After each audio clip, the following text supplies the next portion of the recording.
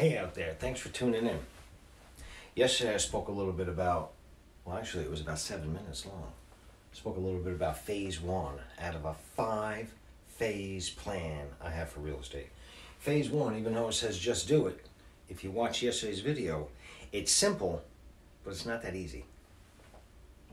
It takes about two years, at least two years, to get into phase two.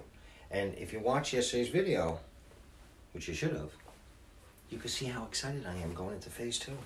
Today I'm going to talk a little bit about phase two. Don't go anywhere. Before I go any further, I just want to let you guys know that it's not like a catch, but this is super important if you're in phase one.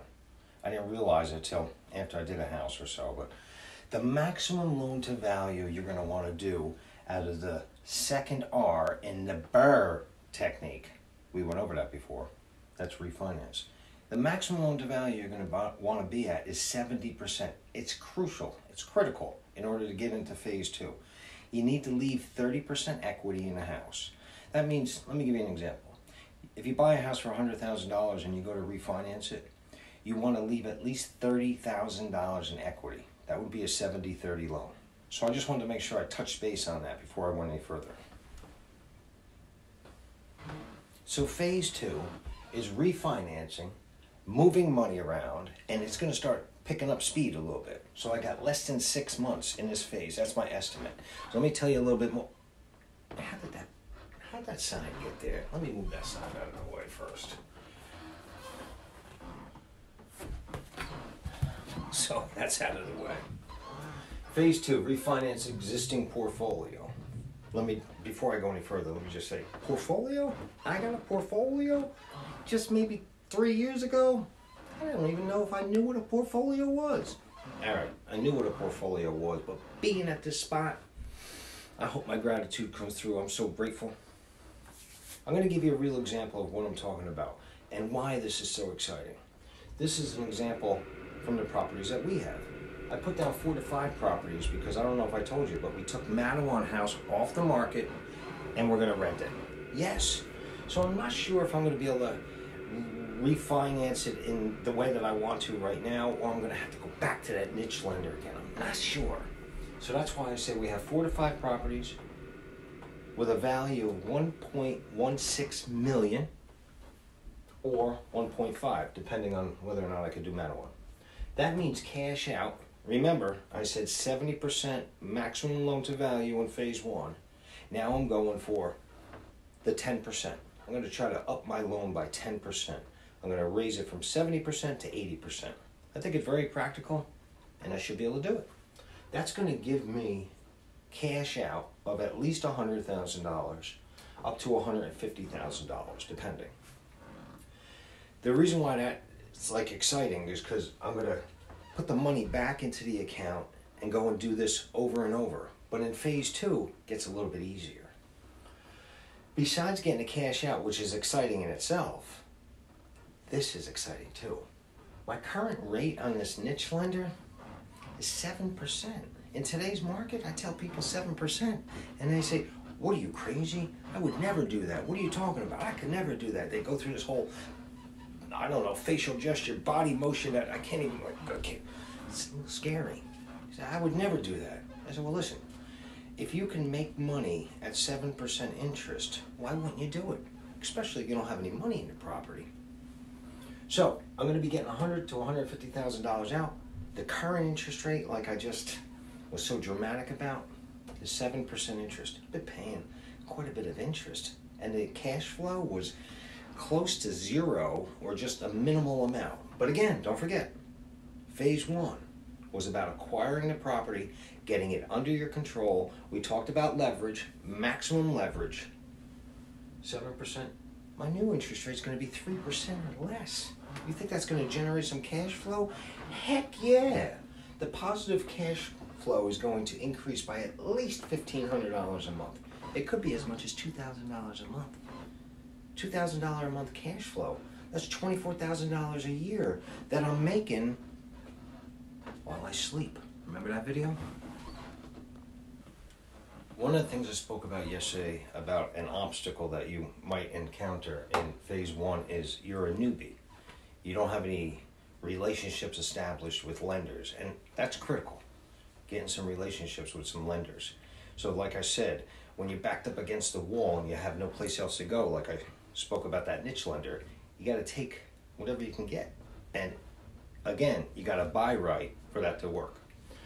When you get into phase two, and you have properties, I have four to five properties, plus I have the other one in Woodbridge, and you've done this a few times, you start becoming attractive to other lenders, especially during phase one. You're doing your tax returns that indicate that you know what you're doing.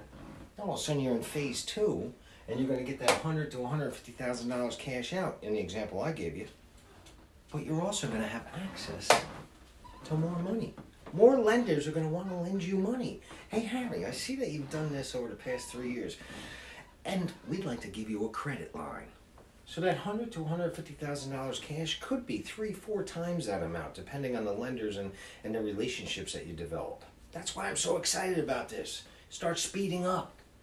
You got to do some smart investing, and you got to take into consideration your goal now is to build and grow that portfolio.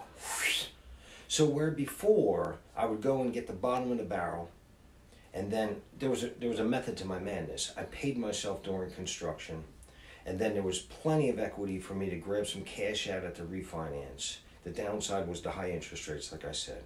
Now, I might still mix it up with getting some of those bottom of the, bottom of the barrel properties in order to generate some immediate income or to give my guys work.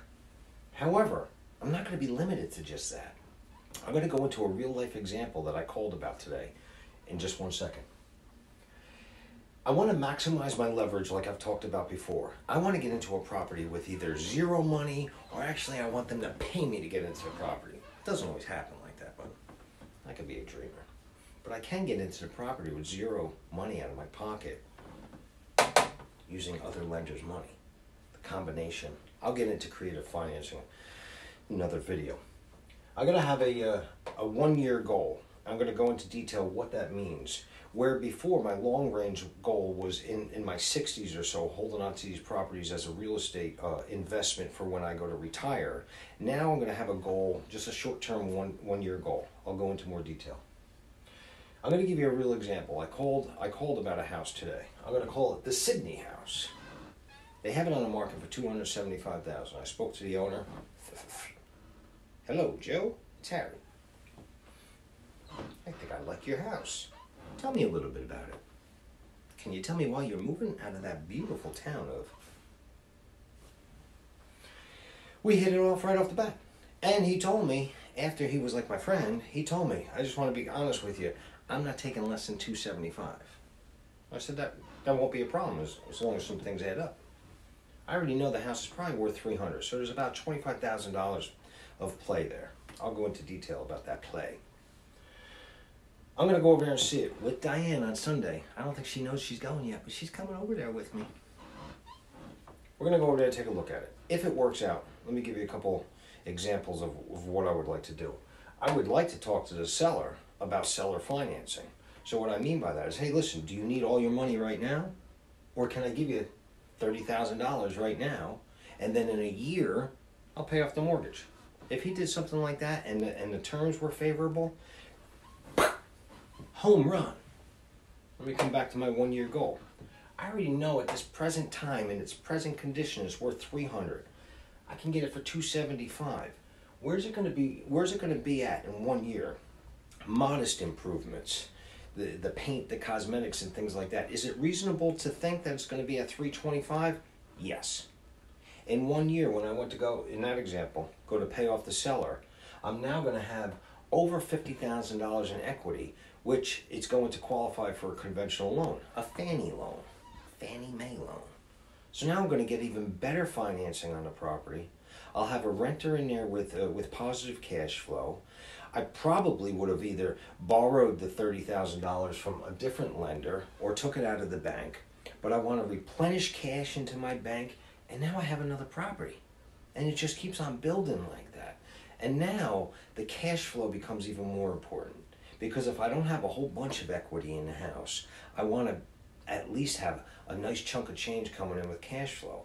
If I can make three, four, five hundred dollars a month on each piece of property, and my goal is pretty lofty, then that means that the passive income that's coming in is going to be so much that I'm going to be able to eventually get to phase five. We're not even close to that yet. But this is phase two in a nutshell.